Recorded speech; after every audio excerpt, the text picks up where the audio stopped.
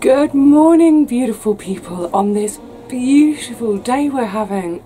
Oh, it's warm, actually, it's verging on hot, it's sunny, there's a gorgeous stiff breeze in the air. Oh, it's utterly perfect for some garden time. It's mostly peaceful too, but every now and again, someone over there is starting up with some kind of power tool, but we'll just have to ignore it, won't we? there they go. Um, I'm sort of continuing on my theme of when I did the lavender harvest video that I'm feeling a little bit uh, just really, really run ragged recently. Crazy busy, crazy long days. So I want today, well, I was thinking, oh, I just really, really do with the day off. No time for that at the moment. But I am going to treat today as if it's a day off. I'm going to have a holiday in the garden, if you like. So I'm going to go nice and slowly. There's absolutely no pressure of getting anything done in particular. I do know what I want to do today, but it's going to be one of those days where I'll just get as far as I get and I'll be happy with whatever I get done. Yay! So today is going to be mostly about having a bit of a tidy up. Now, I know there's probably a lot of people think, for heaven's sake, Vivi, your garden is tidy. there may be a few people, a few negative Nellies out there who think, oh, why do you bother? Oh, you're so anally retentive about tidying your garden. You know, there's a number of reasons I, li I like to keep the garden tidy. first and foremost, that's just how I am. I can't, I can't change the kind of person I am. You know, I'm very sort of aesthetically, visually driven. And when the garden is tidy and looking good, it just pleases me. It pleases me to see it. And when I visit, the next time I visit after my little tidying session today, when I arrive, I'll look and be, oh, it's so lovely. Um, but on a purely practical level too. I think it's very easy, I know I do it, that when I'm sort of standing on the end of one of my beds and kind of looking at the whole bed, you're sort of seeing that whole picture but not really the detail. So having a day like today, it'll be great because it gives me the chance to get up close and personal with each of my plants it gives me a chance to check on their health.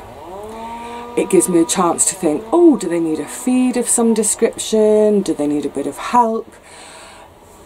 Having a look for weeds, are they are they crowding my plants out? I don't want the weeds to have all that beautiful nutrition that I've worked so hard to get into my soil. So you know the weeds can come out and stop crowding and stop nicking nutrition. It gives me a chance to look at the soil, you know, how, how dry is it? Do I need more mulch in certain areas?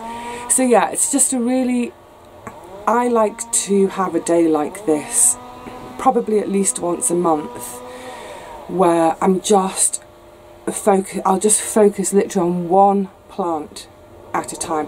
It may be that I'm only with one plant for 30 seconds. I may give it a quick look over and think, yeah, you're fine, move on to the next one Obviously I'll be looking very closely at the tomatoes after all the rain we've had.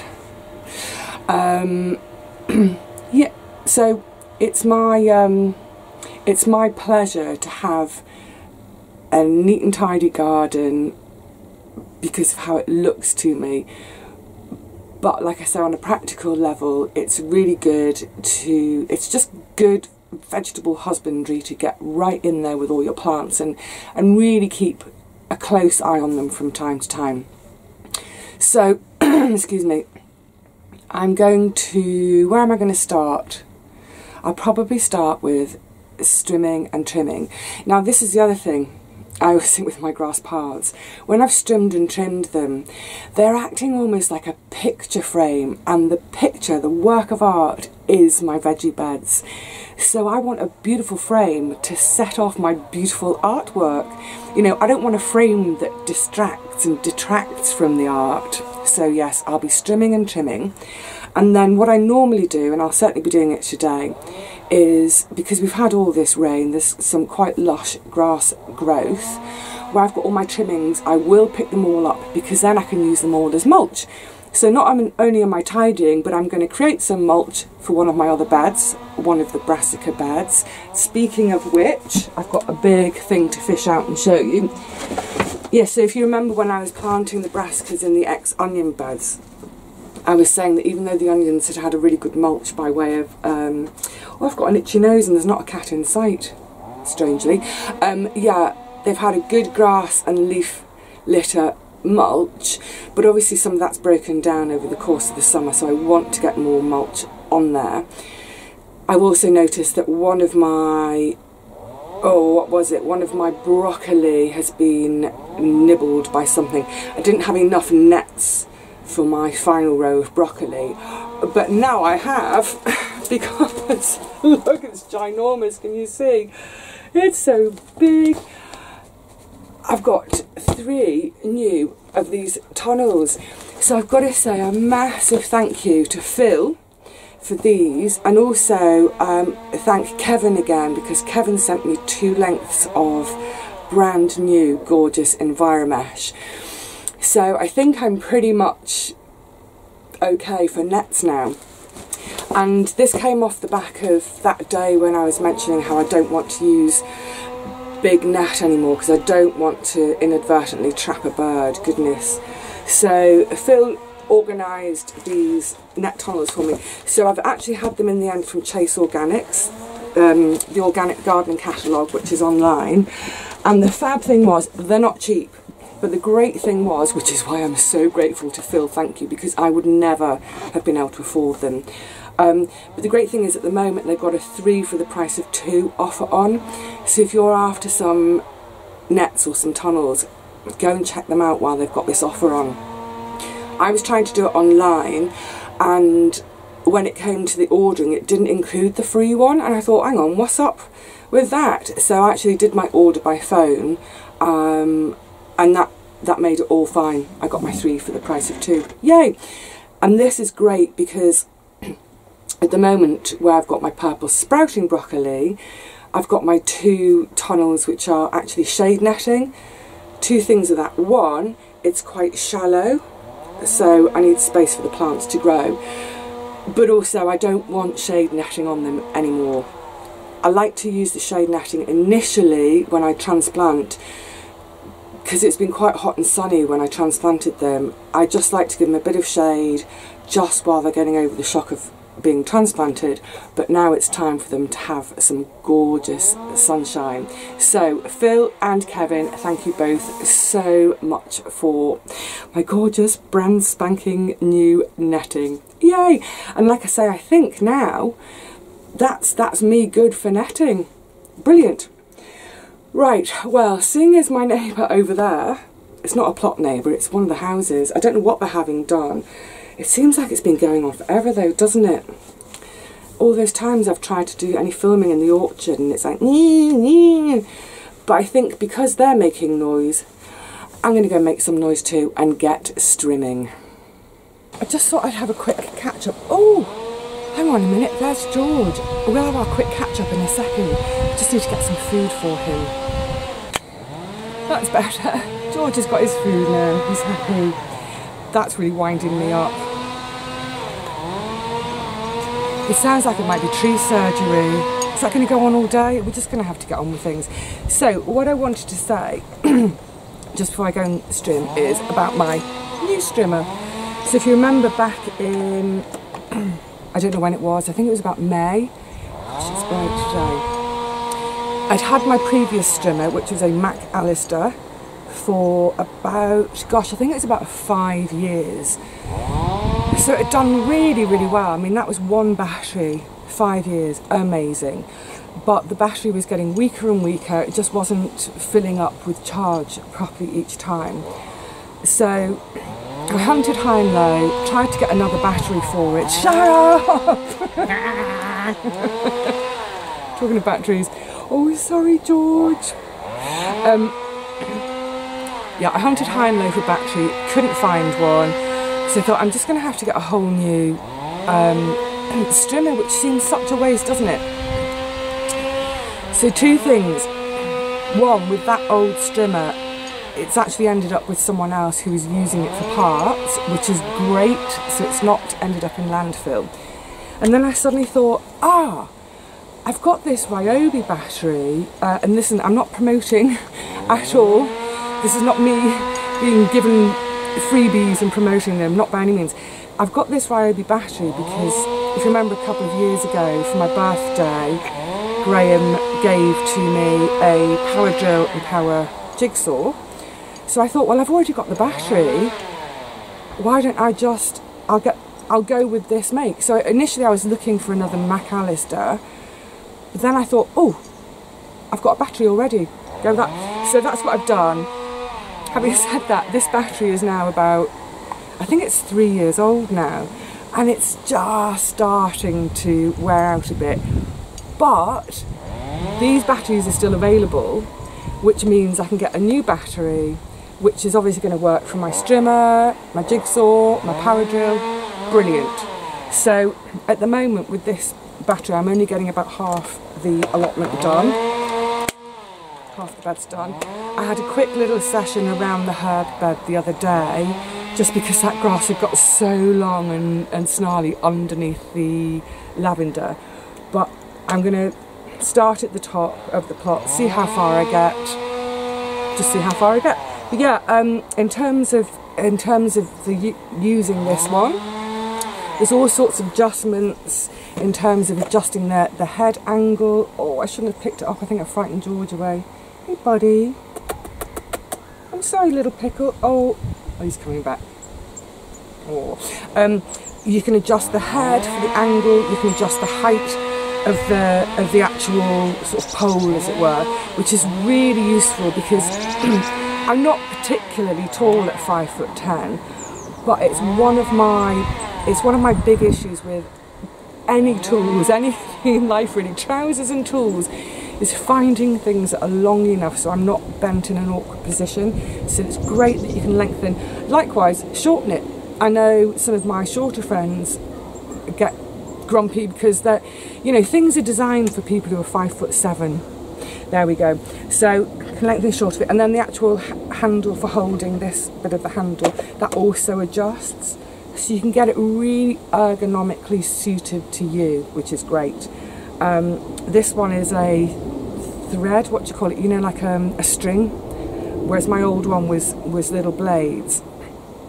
I prefer that as well because that's much less less waste than the blades were.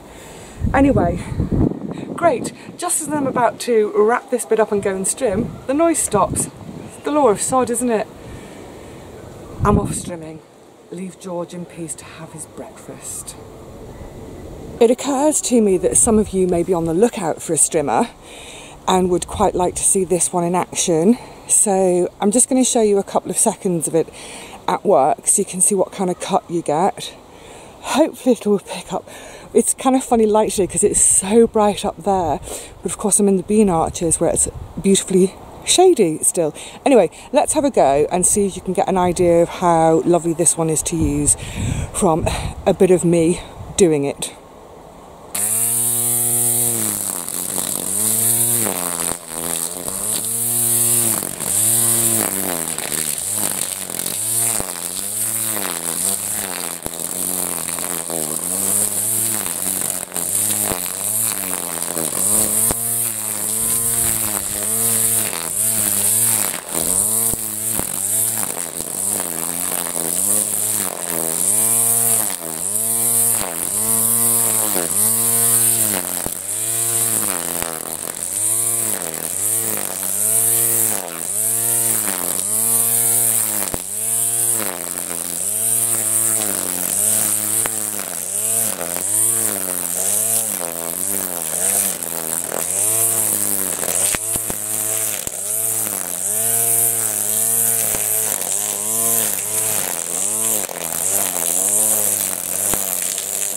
Well, I hope that's given you an idea of how of how well it works. You hopefully you could see that this grass was really quite long and really lush, but it's coped with it absolutely perfectly. Um, and now you can see, oh, so obviously I'm going to trim my edge, but you can see all this litter I've left behind. This is going to be great for mulching. So I will carry on and finish all my strimming and then I can start trimming. It's turning into a bit of a tool day, isn't it? On that note, I am thinking about making a video probably after the autumn, probably after most of the harvesting is done and things are much, much quieter in the garden. I was going to do a video about all my tools or my favourite tools, what I can't live without, what I can live without, etc. But I just wanted to quickly talk about my edging shears. So these are fairly new to me. My last pair uh, were dead cheap, really, really cheap. I bought them about four or five years ago. It's all I could afford at the time, and it just goes to show you get what you pay for because they completely snapped sort of down here. Um, not weldable rubbish. So these are by Qualcast. I'm really pleased with them so far. The length of the handle it suits me perfectly. But what I really like are the, the cutting blades. It's really quite a thick piece of metal that the blades have been made from, which means that they should, in theory, they should be able to be sharpened year after year after year. There's basically there's enough metal there to keep taking a bit off every time I sharpen. So yeah, I'm I'm delighted with these. I, I think the thing with all tools is ultimately, you know, it, I, I don't think they're the sort of things you can buy online. I think they're the things you need to go to a shop, whether it's a garden centre, a DIY place, wherever it is. Go, try to find a place with a big range and just handle everything and try to sort of replicate the actions of what you're going to use the tool for in the shop to see how it feels. And ultimately, you know, buy the most expensive you can. Well, not necessarily the most expensive, that's not necessarily always true, but generally speaking, if it's really, really cheap, it's not going to last and it's, you know, it's a waste of money. It's better to spend £20 and have something that lasts 20 years than spend 10 quid for something that lasts four or five years. Right, enough chat, on with the work. It's such a beautiful day. It's the absolute most perfect day for all of these kind of jobs. And finally, that blasted noise has stopped. Yay!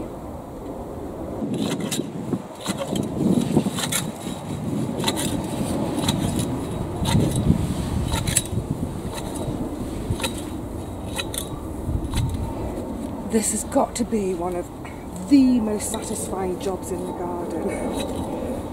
It's so quick and easy to do, but it's like a gorgeous instant makeover.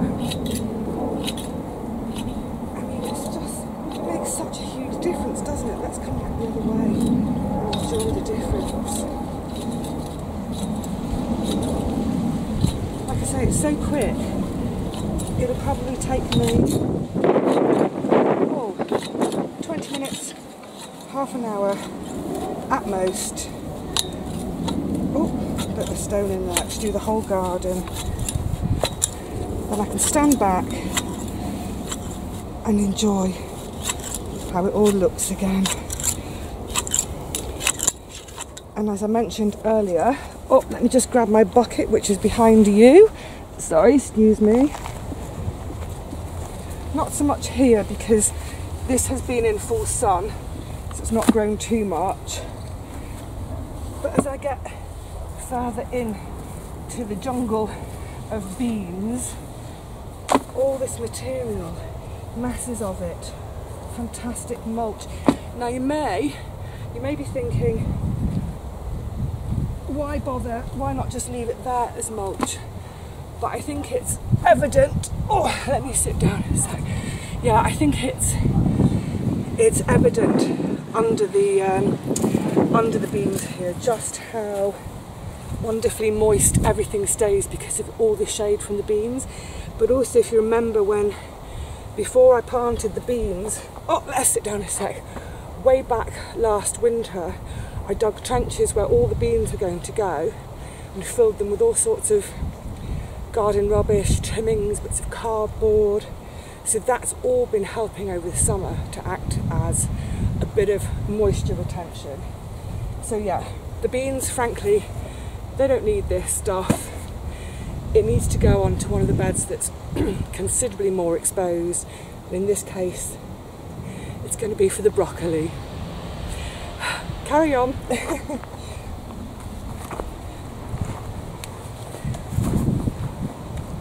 Where did I get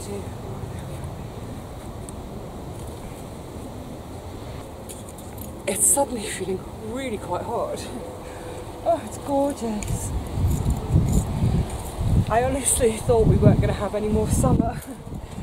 But this is great. So I'm just going to quickly replace the um, the broccoli that I don't know what happened to it. It looks like it was eaten. So this isn't the same kind of broccoli. This is the sprouting one, or at least I think it's the sprouting one. So just quickly pop that in there. Now, oh, Hoopla.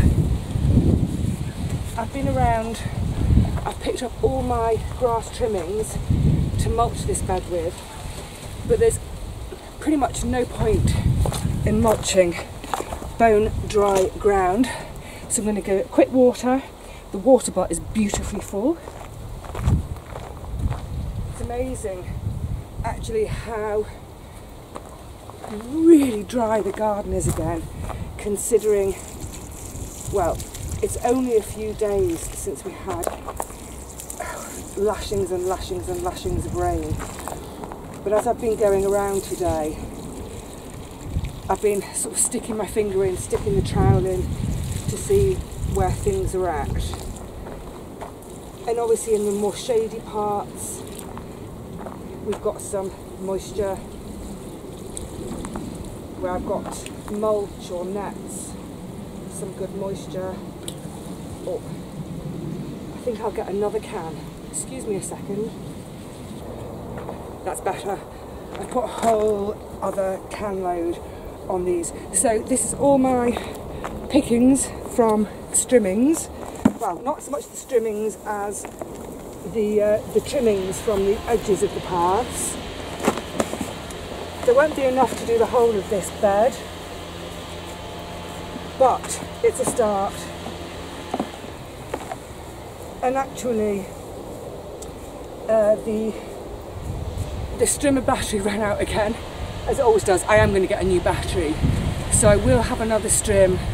When I do that, I'll rake up all the clippings and uh, just carry on being mulch-tastic. Free mulch. that makes me think of that song. Mulch on the mulch highway. Sorry, however it goes. Right, let's get this net up. Let's have a little butcher's. Gloves off. It says, I've got to say, that's masses of packaging. Um, I think it's done up with Velcro at the top. Let's have a little look. Yeah, that's a lot of packaging. But I'm thinking, firstly I'll keep it. I'm sure I'll find a use for it. And if nothing else, to maybe store the nets in when they're not in use, keep them in good order. So it says, the ultimate barrier against carrot fly, cabbage white, root fly, flea beetle and aphids. Eliminates the need for chemicals. Yay! It doesn't mention anything about eliminates pigeons from pecking your brassicas to smithereens. Conserves moisture for stable, healthy growth. The finest gauge mesh and it still allows water to pass through easily. So that that's the other thing, isn't it? We think of of using these nets as pest prevention, but as you've seen in my garden, quite a lot of the time, it's about it's about preventing moisture evaporation. Oh, a load of tape on the ends. Hold on a second. Oh, it's like taking the tape off your tennis racket handle. Oh, that brings back memories. Oh, Do you know what? I can't tell you how much I would love to play a game of tennis again. There's no way. There's no way with my knees. But oh, I would just love it. I would just love one day of just. I might see if a friend will accommodate this for me, just to hold my racket and hit the ball, not do any running around, but just have that sensation of hitting the ball because I love it. Digressing. Oh, right, that's all the strings for closing the ends up. Oh, it's weird, isn't it? It looks a bit. it looks like it's been dyed with wee. okay, so it's supposed. To, I think it's supposed to be three meters long. Let's have a look. I'll just pop it there for a second. Spread it out. Oh yeah, look at that. Look at that, perfect length for my bags. And in terms of height, oh, that's going to be great as well. What I'm going to have to do, whoopla, is just move the green one a little bit. Hmm, how am I going to do this? I think what I'm going to do is move the green one. I've got two more of these at home. I couldn't carry them today. I didn't have enough hands. Let me get the green one moved to a narrower. Put this over two rows and then I'll, I'll show you how it's all looking and standing at the end, and hopefully they'll have shut up again by then. you can but Gosh, I do feel rather um, posh and spoiled to have such beautiful new nets for the garden. So this is one of the lengths of the Enviromesh that Kevin sent. I've got another length, but in the meantime I need to find some more of the blue plastic. This is all old water piping so I'll find some more of those, and that'd be great for my shiny. Look at the difference between the, the piece that Kevin sent and that old bit that was, Ah, believe it or not, that was being thrown away by someone. It's crazy, isn't it? So I said, yeah, I'll have that. And then right next to it, this gorgeous new tunnel from Phil. Let me show it to you a bit more closely. I think in terms of height, that will be, that's going to be fine for now as the brassicas are developing. I tend to only protect my brassicas till about November. Mostly I'm protecting them from the cabbage whites, so I keep an eye on them and when it looks like their activity has, well, stopped, I tend to take my nets off. I don't tend to get too much damage from pigeons, fortunately. I don't quite know why, but there we go. So yeah, that will, I'm sure that will be sufficient um, during this stage of their growing. And if not, if, if they're getting too big, what I can always do is take this arrangement off here and move it over there because again, I tend to, after about November, I'll tend to take all this off because the carrot flies and the allium leaf miner are no longer around. Oh, I need to harvest some leeks actually. So yeah, I'm delighted with that.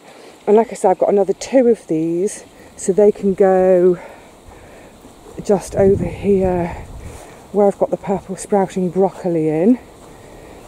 I can swap these out because like I say it's not ideal to have the shade netting on anymore. I've had a quick look under these, they're all looking great and that little bit of mulch that I did get from the compost bin that's looking great too.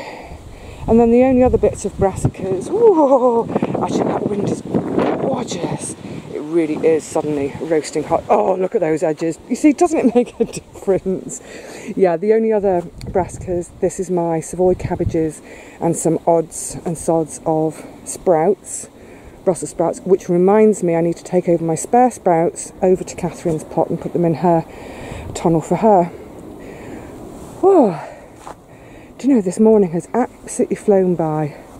It's scotchio warm but I'm glad with the little jobs I have managed to get done today. That's such a happy sight. I'm so giddy about it. It's because I rarely have anything shiny and new. So, oh, that's making me really happy. But I think I need to get into the shade for a minute because, wow, yes, it's very warm. Wow, well, you can probably tell by the pinkness and the moistness of my cheeks just how hot it's got today. Um, yeah, I wasn't expecting it to be quite so warm. Sorry, I'm just having a scratch with my pen. Um, it's been an absolutely wonderful morning. I was saying the other day that I'm not ready to let summer go yet, and this today, I just feel like it's a blessing, an absolute blessing. And sort of having that frame of mind of, right, today is a holiday. I mean, you know, it's the kind of, it's a working holiday, let's call it a working holiday. Yeah, having that attitude, I think, really makes a difference on a day like today because I'm looking around and thinking, yeah, that needs doing. I'll do it in good time. I'll take my time over it. So this morning has absolutely flown by. It's already half past one. My tummy's rumbling. Need to eat. So I think for now I'm going to wrap things up here with you. I'm actually going to carry on. Well, apart from anything, I need to water quite a few parts of the plot, but I'll, I'll do that much later this afternoon but I've got a really nice little plan for myself for this afternoon which I'll show you in the next video which is going to include some harvesting it's going to include I'm going to show you the loofah and it's going to include me preparing a little meal for myself in the shed I've been so waiting for this moment so that'll be in the next video for now I'm just going to have 10 minutes here in the shade of the shed, drink a litre of water, might close my eyes for a few minutes. Oh yeah, a little snooze and then carry on later. So I hope you're still getting some beautiful summer days too. And I really, really hope that you're able and free to make the most of them. Declare a holiday day for yourself. Have a holiday and get sweaty. Yay, why not? Oh, bliss. Absolute bliss. Okay, I will see you all again really soon. But in the meantime, take care of yourselves. Of course, take care of yourselves. Get out and enjoy some sunshine if you can. Cheerio.